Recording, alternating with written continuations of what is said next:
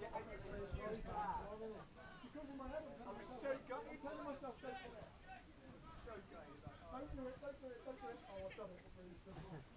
be fair, Darren, I thought he might have been dropped by Saturday. I didn't think he was put up by the red card. I was like, what the fuck's going on with it?